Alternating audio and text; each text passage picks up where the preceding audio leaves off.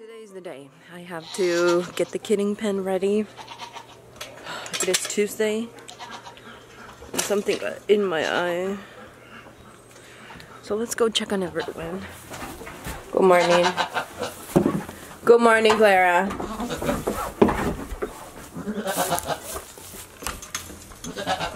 Stop, wait.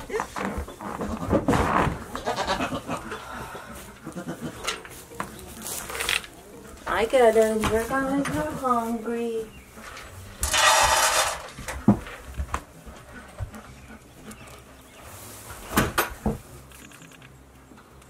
I I'm gonna try to put the mineral feeder in here. The only problem I have is that the kidding stalls are super small. I think they're maybe a little bit less than six by I don't know four? So I have to plan everything very carefully. And after we put the hay feeder there and this is the hook for the bucket the only one place where I can place it is in there uh, in between this and this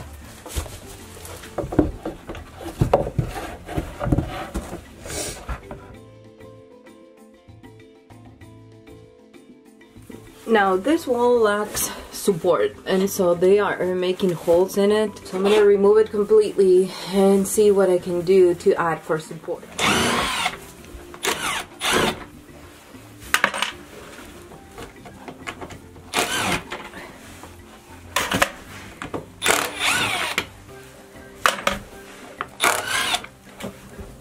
I was thinking to put like a piece of wood between this and this and here and here. But I'm wondering if I'm gonna be strong enough to put the uh, screws on the side because they have to be very very long. Uh, but not too long that will go through the wood and to the other side where the goats can hurt themselves so I think the separation is where they are able to you know eventually put their hooves in between this and the top part. So we'll see what happens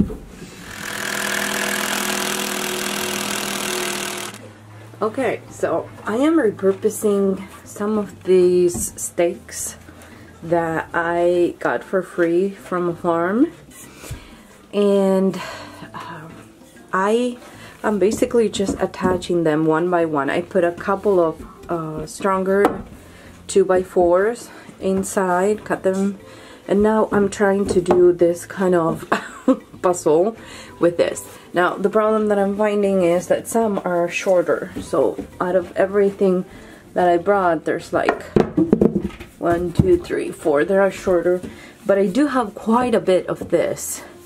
But I think this is gonna be perfect for here and we're gonna be able to repurpose some materials that we had around. So I'll show you one of them. Okay, uh, shaping up kind of dark because I have the, the door closed, but as you can see, I'm just using one screw. And this is like solid. Can't move it. So this does not guarantee that they're not gonna break it. Um, you know if I leave something that they can find to chew easily they probably would. But I feel better about repurposing this uh, stakes that I had laying around for about a year and at the same time fixing my problem now. I only have this much left.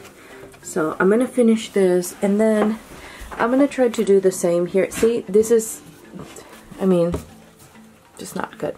So I'm gonna put another piece of wood here like I did here another one here and I'm gonna try to do the same. I'm gonna try to continue with this because I probably have not, well, probably got a hundred of them when I did.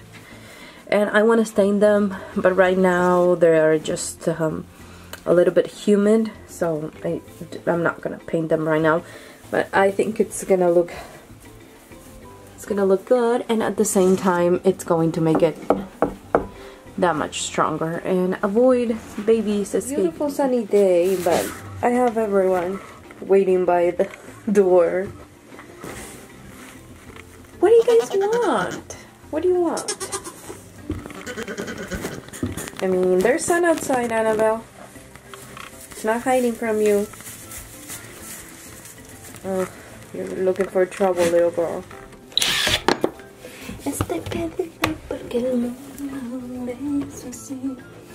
No puedo cambiar.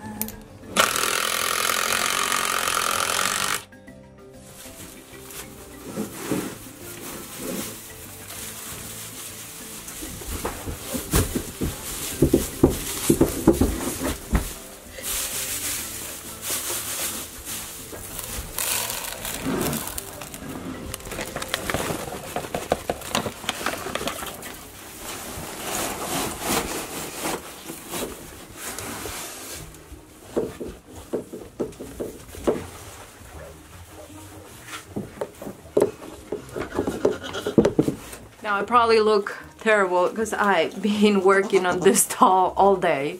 Well, all morning. It's one. I'm gonna start uh, locking her up at night starting either Friday or Saturday just to make sure that she has a warm place, a place that is clean.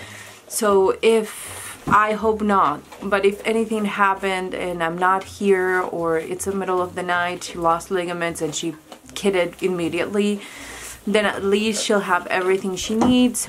She'll have food, she'll have minerals, and she'll have a safe place to hopefully be able to keep up with her babies. Last year she had four and only two survived. She did it by herself. So she is a good mom. She knows what she's supposed to do, but when you have multiples, it's better when you're there to encourage her to say, hey, here a couple more kids that you didn't notice just came out of you. So, you know, there was so many spider webs. I've been cleaning, I've been doing all the things in here. Just going through the walls, they were so dusty, so much dust in here. So it, I feel a lot better now that everything is clean. And if she happened to lose her ligaments tonight or tomorrow or the day after, I don't have to worry too much about where am I gonna put her or anything and honestly, I wasn't able to sleep for the last couple of nights because I knew that this had to be done.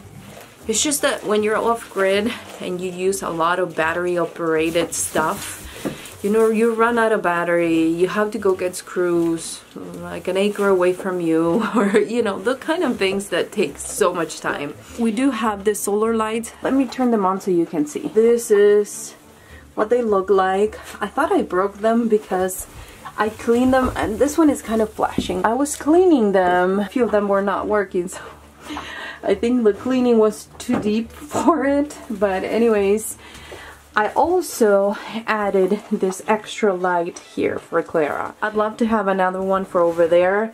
I was gonna run electric here but I'm running out of time and I need something, a solution like today.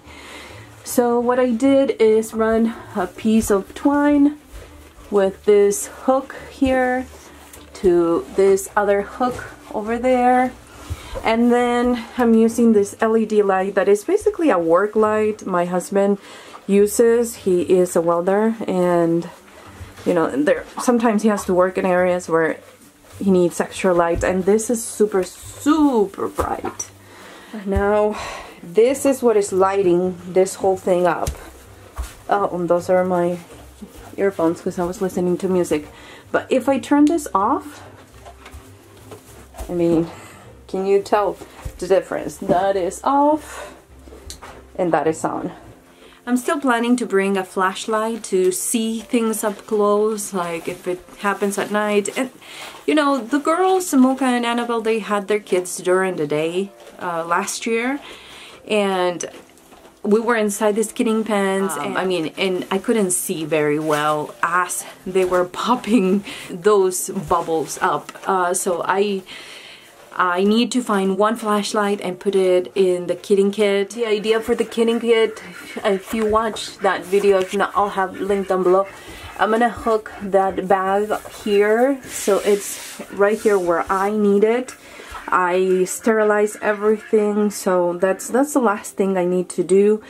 And this light is gonna go back with me so it can continuously charge uh, for when it's needed. But I am pretty happy on how this kidding pen looks like right now.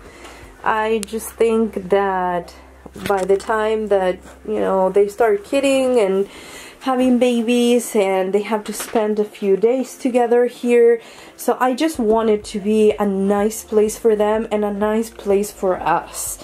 Now as far as kidding we usually do corners. I typically sit on that corner when they are kidding. And the goats have this other corner or if they want that corner I move to this corner. I mean, there's not much room. Uh, as you can see, that corner is kind of taken and this other one too but it's plenty big for what we needed and and you know I've seen plenty of videos uh, with amazing setups I was watching Twin Bridge Farms in Oklahoma and she has like a barrel, like a blue barrel that I do have one like that. One of those lights to keep the babies warm. But I think it kind of depends on, you know, where you live, how cold it is, and if I do need to bring a light, for the babies because there's some weird super cold weather getting they're eating the straw. I mean these goats are just something else but anyway so if I do feel like I, they need a light I'll bring one and I'll put it in one of the corners that we have available for them to move around while they are in labor I mean it's not a big deal but I just want to make sure that there's enough room for her to move around when it's time to kid. Again, I think it's only 6 by 4 uh, each of these kidding pens and they don't have windows, they don't have like you know any kind of fencing so they can see each other through there. I consider putting the little pieces of wood a little bit more apart but then I thought about kids getting out. And to be honest, I think that for kidding in colder weather, well, especially in colder weather, it's good that they have this short wall so when I open the door in the morning they still get light but it's it's still kind of covered in case that there's wind or it's cold or something like that it's kind of more protected so I'm not regretting that right now. I feel like everyone has some kind of fencing or something to in between their kidding pens. I just don't think we need it right now and I may change my mind in the future. In the meantime, Clara is just eating her life away. She's extremely hungry, extremely hungry. She is eating like 24-7. You won't see her do anything else but eat, poop, and pee and cry and you know follow me around. I think it's pretty normal for you know the last few days. You're such a sweet sweet girl and you love the camera Clara you do love to be the star of the show huh? Well you're gonna be the star of the show in a few days when you bring all those babies. This is not the final setup uh, right now. The dogs are sleeping here like well, right now it's a mess because i'm cleaning but the dogs are sleeping in this area. The goats are sleeping in the kid, the other kidding pen. But the dogs are gonna be moved he from here eventually because I do need more room. Uh, if I'm planning to keep a, a doeling, I want to keep one for sure from Clara, and I want to keep one for sure from Annabelle because she gave me a boy last year, which is the cutest boy ever. I can't complain. And full blue eyed, and he is a sweet boy. But I wish I can keep a doe, so I hope she gives me one. Um, this is day 21 and she hasn't come back into heat, so I'm assuming she is pregnant and will be kidding sometime in June, which is the latest I want to do kidding. I really didn't want to miss this breeding because I really liked what she produced last time. I think Taz is super good more bug material and now she was bred to the son of the sire that she was bred to last time. So I really want to see what she produces and I want to keep doelings to see what they're producing with Rocky to make sure that I am breeding him I am breeding them to the right buck to get the best results. So of course um, that will come with time. So this this pen is gonna see way too many changes before I can decide what to do in the end. Would you guys be the good little girls you used to be and stop fighting? No? And that's her stage. I mean their stage. They love to go on top of that rock and just fight. It's like a ring or what is it? Are we boxing?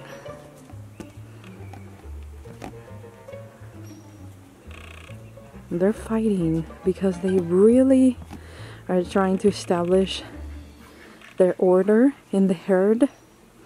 And their mom is like the bottom, at the bottom of the order. Although she does um, protect them. You know, at night, they're sharing a pen, they go into a corner, and then their mom sits kind of kitty corner to protect them, just in case Annabelle decides to be a pain in the butt. But they really want to go up that order, that pecking order. Although they're so sweet. But in the goat pen, things work differently.